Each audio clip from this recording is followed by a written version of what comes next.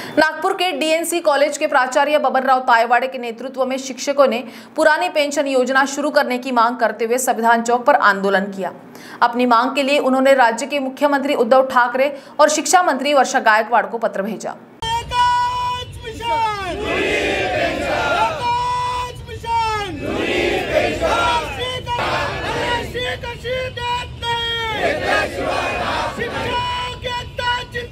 फ़िलहाल राज्य में 26,000 ऐसे शिक्षक और शिक्षकेतर कर्मचारी हैं जिन्हें वर्तमान में एक भी पेंशन योजना लागू नहीं की गई है।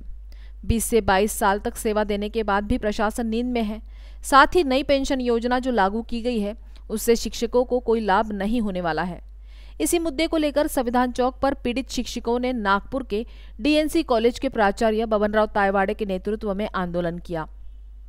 एक नवंबर 2005 के पहले बिना अनुदान और अशंता अनुदान के ऊपर नियुक्त और 100 फ़ीसदी अनुदान लेने वाले शिक्षक और शिक्षकेतर कर्मियों को जल्द से जल्द 1982 की पुरानी पेंशन योजना लागू की जाए, ऐसी मांग की गई। और इस मुद्दे को लेकर मुख्यमंत्री उद्धव ठाकरे तथा शिक्षा मंत्री वर्षा गायकवाड़ को पत्र भी भेजा गया। हा ज्वलंत प्रश्न है एक हज़ार पाच पासनं पेन्शन योजना बदलली. आणि त्या जी आरमध्ये असं नमूद केलेलं आहे की एक नोव्हेंबर दोन हजार पाच नंतर नियुक्त झालेल्या कर्मचाऱ्यांना ही नवीन योजना लागू झाली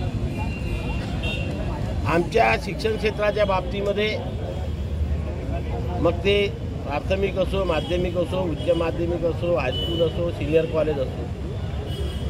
एक नोव्हेंबर दोन हजार पाचपूर्वी जे शिक्षक नियुक्त झाले परंतु ज्यांच्या शाळा